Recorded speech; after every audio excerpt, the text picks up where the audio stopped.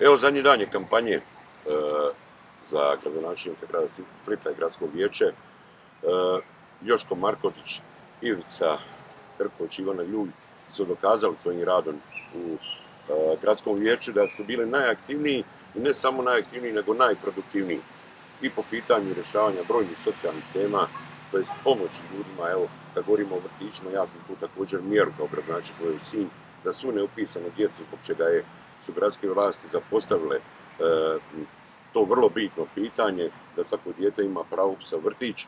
Oni su, se izborili za tisuću kuna da svaki roditelj, to roditelj dobije za neupisano dijete, kao penal gradskim vlastima koji su to dužne napraviti. Također bore se za umirovljenike, a bore se i za ovaj grad. Iako je iko u ovome mandatu nije isključivo gledao samo ideološke stvari, jer ovdje žive livi i desni. Zato pozivam Spličane, Spličanke, bez obzira na njihov svjetonazor.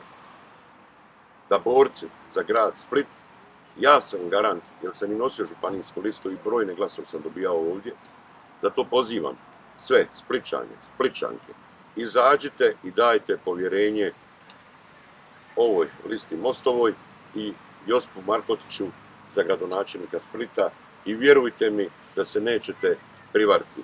Mi ćemo zajedno graditi bolji Split, bolju Dalmaciju, bolju povezanost, jer mi smo vezani.